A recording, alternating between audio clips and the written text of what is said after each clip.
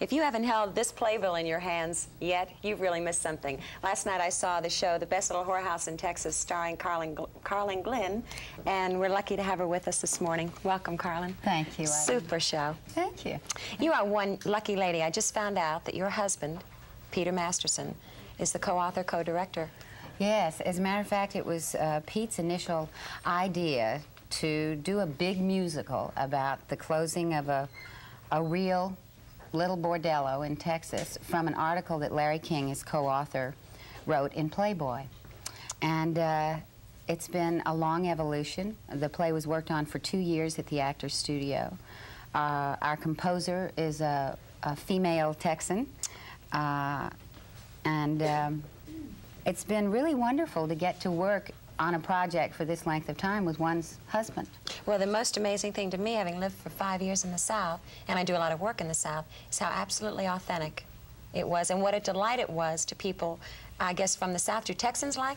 Texans love it. it's, really, it's marvelous. I always know when Texans are in the house because there is uh, more of a raucous response to much of much of the humor in the play. Uh, there was a tremendous effort made by Tommy Tune uh, and Pete Masterson, the directors, to only hire people that had at least a sound of the South in their voices. Uh, they are not all Texans, but there many of the young kids in the show are from Oklahoma, Alabama, North Carolina, so there's an authenticity to the rhythm of the speech which is really what an accent is. It tends to be more rhythm and inflection as opposed to uh, specific vowel sounds. There was know? no way last night to tell that, that every, I mean, I really thought every one of those people were Southern. That's great because Pete and I have always felt very strongly uh, in seeing the Broadway theater Southern plays that so many of the accents were phony. And if you've lived in that part of the country, which is a large part of the country. And you're from Houston. Yes. Uh-huh. Well, I grew up in Houston. It's just such a dissonant sound to hear a phony accent. So I'm glad you noticed. well, we've got some uh, some slides of the show. Now, show it. Tell us what these are, Carl, on the monitors right. over there. This is uh, the interview with a, uh, a young country recruit who wants a job in my house who incidentally is fantastic. yes, she's a wonderful actress named Joan Ellis, Very member of the Actors good. Studio. It's her first play, and she's only brilliant, I she think. She is brilliant. this is when the uh, man from the television station raids my bordello.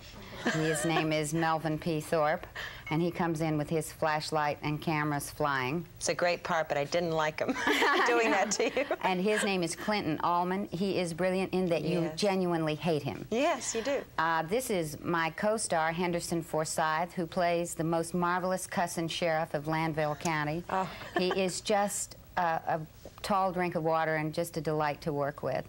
It is, uh, this is from the last scene in the play when he, we are, I'm going to my farm in the country after the house has been closed.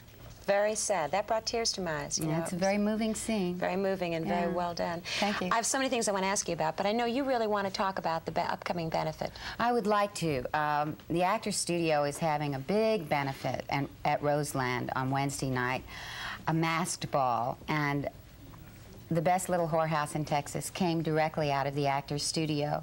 Uh, it's a huge musical. In the economic setup of the theater today, to do a musical costs so much money, and you basically have six or eight weeks to put it up on its feet. So that work that is done in a place like the Actors Studio for two years on developing the book, and our show is a very strong play as well as musical. Yes. The music being written out of the book scenes. This all happened at the Actors Studio. The Actors Studio put on a workshop production for which they paid, and they're a not-for-profit organization, so every penny they have is uh, extremely dear to them. Uh, we mounted it at the Actors Studio where it was seen by four or five people interested in producing it, and ultimately Stevie Phillips of Universal wanted to do the whole thing and has really mounted it beautifully.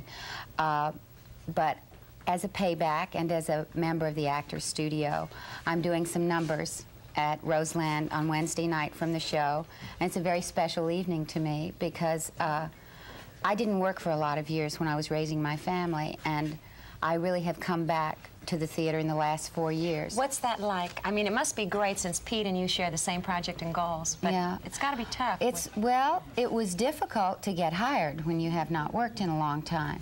However, what I did do was work at the Actors Studio, which was again, terribly important to have a place to function and to be critiqued by the Lee Strasbergs, the Elia Kazans yes. of the world. Uh, as far as then going into my career, I've only had familial support, which is really quite remarkable. I mean, my kids think it's terrific. That you're a madam umbrella. yes, they love it.